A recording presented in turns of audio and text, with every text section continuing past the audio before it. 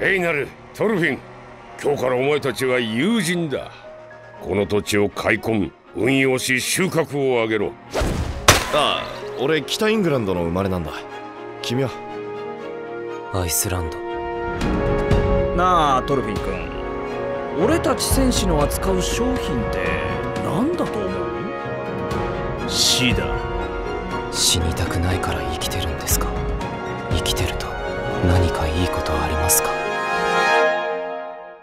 お前は、お前は死にたいのか！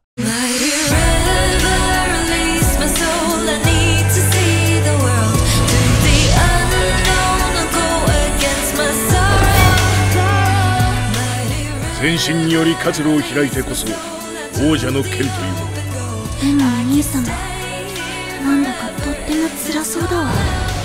こんの世で武力を持たぬ王に何ができる？辱を受けた戦士の取るべき道は二つだけだ殺すか死ぬか。もう生きるも死ぬも自由にならなくなっちまった。それでもまだ負けちゃいないってのか。強い奴が弱い奴を殺す。